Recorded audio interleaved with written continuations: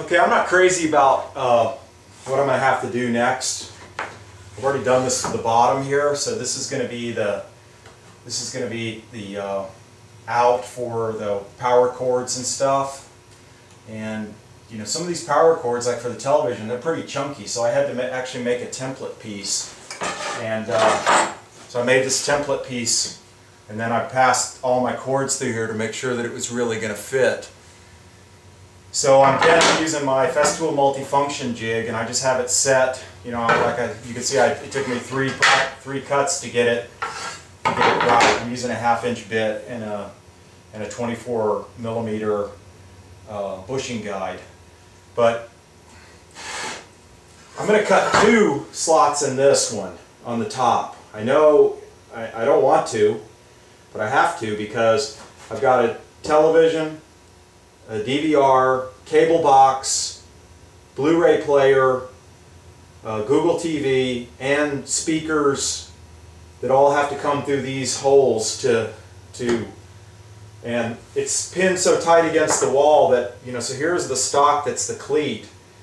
First my design was, you remember I was going to make some cutouts here on the back, but after I realized how big and chunky some of the, the cords were, I couldn't cut enough material out of here and then still have this intact as a, as a, as a cleat. And so uh, that's why I've opted for a penetration through the top of the, the panels.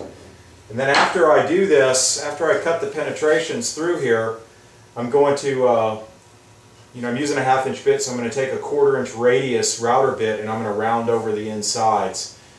I'm ready to cut the other piece for, or the other hole for the top of my cabinet. I've already cut that one over there.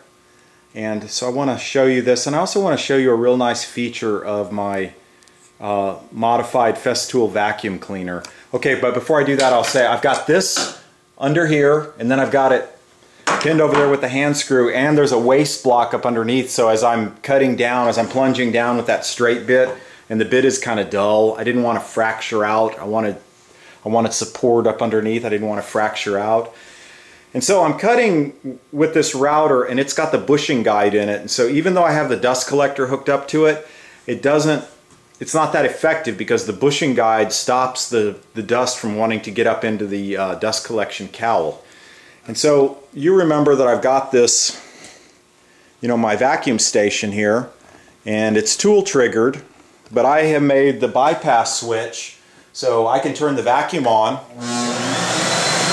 by, by tricking the vacuum into thinking that that light is a tool, or I can turn the router on and the vacuum comes on automatically. But in some situations, you want to do you want to do something that's even more unusual, and that's turn the vacuum on so the vacuum's running continuously and then be able to turn the router on at the same time because I want to be able to turn the router off but the vacuum stay on so I can clean the dust out of the, the, the plunge mortise that I'm cutting here. So I, I was just going to show you that, that, that, that this feature has so many fantastic uses, you know. So let's, let's do this.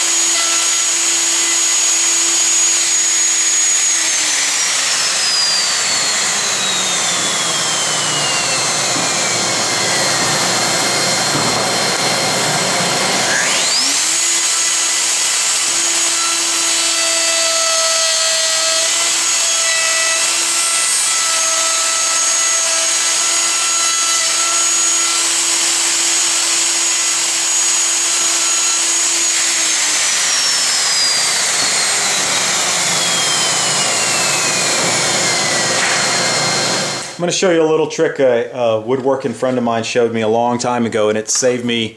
I, I used to have such a hard time getting these, some of these bits get stuck in these split uh, tapered or these split bushing collets and uh, they're really hard to get out and the last thing you want to do is like put this or your bit in a vise and, and try to pull it out with pliers. But you just take a scraper and you just slip it into the slot and then just do this. Just tip it down on the table and that's just enough to just separate that collet enough and you can pull that you can pull that router bit right out and then put your new one in.